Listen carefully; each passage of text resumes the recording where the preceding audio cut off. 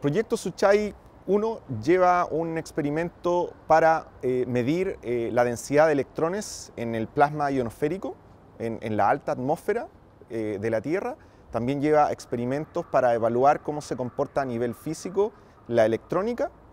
y también lleva algunos experimentos relacionados con el comportamiento de baterías en ambientes extremos como el que se vive en el espacio además de eh, una serie de experimentos tecnológicos para evaluar eh, las capacidades tecnológicas que tiene el dispositivo, es decir, eh, cómo es el comportamiento térmico, cómo es el comportamiento de, de algunos componentes hechos con impresora 3D, etc.